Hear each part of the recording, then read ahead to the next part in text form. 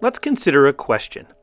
For which values of n can we subdivide an equilateral triangle into n subtriangles where each subtriangle is also equilateral? Of course it's possible for one triangle as shown here, but you can also do it with four triangles as shown here. As another example, this is decomposing the triangle into six sub-equilateral triangles. They don't all have to be the same size. Here's one where we've decomposed the triangle into nine subtriangles.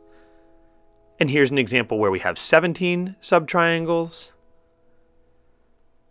And here's a final example where we have 29 triangles.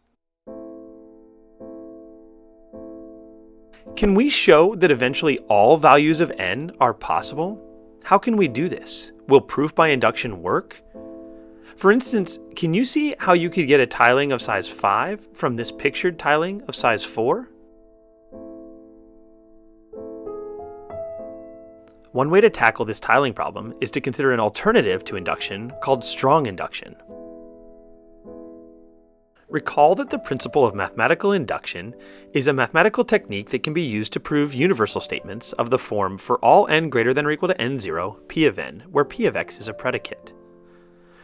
To perform proof by mathematical induction, we broke our theorem into two different cases, the base case and the induction step. The base case is a single proposition, and the induction step is a universal conditional statement. The process of strong induction is similar, but it utilizes a modified conditional statement. In particular, given a fixed value of n, we assume that all the propositions up to n, but not including n, are true, and we use this assumption to prove that p of n is true. This is what the modified logical statement looks like. The new change is that the hypothesis of the conditional statement now remembers that p of k is true for all k between n0 and n. The process of regular induction assumed that the predicate was true for one value of n and used that assumption to show that it was true for the next value of n. Strong induction makes a stronger assumption that the predicate is true for all the values between the base case and the n value we care about, and uses that assumption to prove that the predicate holds for the n value we're interested in. Another caveat is that the proof might this time require multiple base cases, so we might first have to verify that a few of the first instances are true, and we don't know exactly how many base cases there are, it will depend on the problem.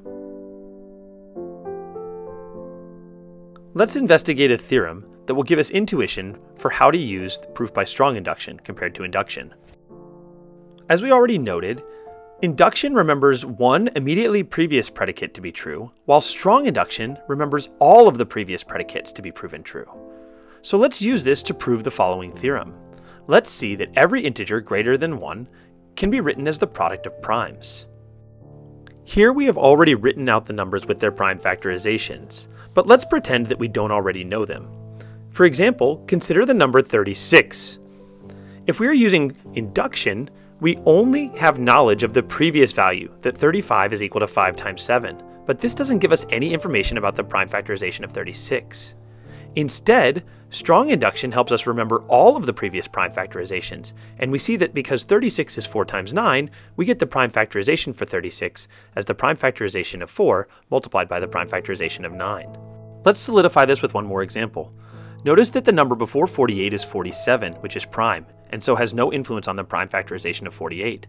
But if we remember that 48 is 16 times 3, then we see that 48's prime factorization can be obtained by remembering the prime factorizations for 16 and the prime factorization for 3. These examples inform our general strategy for proof by strong induction. For our base case, we let n equal 2, which is prime, so 2 equals 2 shows that 2 can be written as the product of 1 prime. For our induction step, we first imagine that n is a given fixed natural number greater than or equal to 2. Next, we assume that every k with 1 less than k less than n can be written as the product of primes. Now we consider two cases for n. First of all, if n is prime, then n equals n shows n written as a product of 1 prime. In the case that n is not prime, then n equals a times b, where a and b are integers between 1 and n. But by assumption, both a and b can then be written as the product of primes, as we see here. This means that a equals p1 times p2 up to pk, where they're primes, and b equals q1 times q2 up to ql, where those are primes. But this means that n, which is a times b, is equal to p1 up to pk multiplied by q1 up to ql. This means that n can be written as the product of primes. Because we proved a base case in an induction step, we have proved the theorem by strong induction. Now let's use strong induction to revisit the tiling problem from the beginning of this video. It turns out that the theorem we want to prove is that an equilateral triangle can be subdivided into n subtriangles that are all equilateral for every integer n greater than 5. For this problem, there are three base cases. When n equals 6 is pictured here, when n equals 7 is pictured here, and when n equals 8 is pictured here. For the induction step, we first let n be a fixed natural number greater than or equal to 9.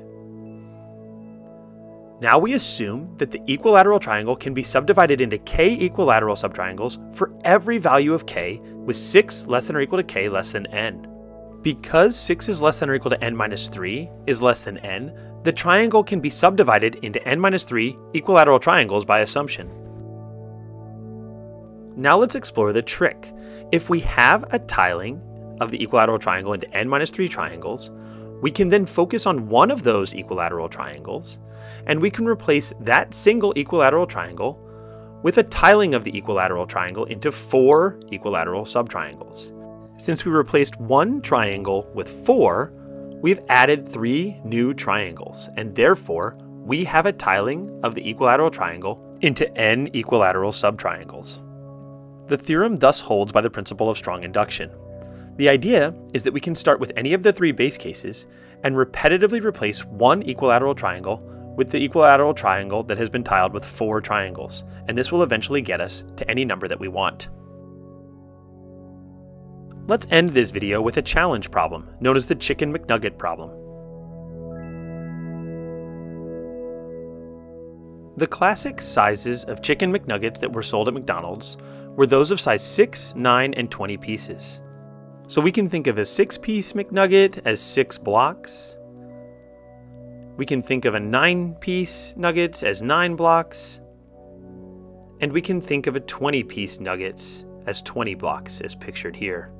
From this, a natural question is how many chicken nuggets you can buy exactly using these denominations. It turns out that you can prove that you can buy exactly n chicken McNuggets for all n greater than 43 you should be able to show that you cannot buy exactly 43 Chicken McNuggets. Here are a couple of examples for different values of n that you can buy. If you take one 20 piece Chicken McNuggets and two different 9 piece Chicken McNuggets, along with a 6 piece Chicken McNuggets, then you have purchased exactly 44 chicken nuggets. Similarly, if you buy a 20 piece Chicken McNugget and then another 20 piece Chicken McNugget, and finally a 6 piece Chicken McNugget, then you have purchased exactly 46 Chicken McNuggets. As you try to prove this theorem, I'll give you a hint that there are six base cases to consider. Can you see why six base cases will be enough? Here's another hint.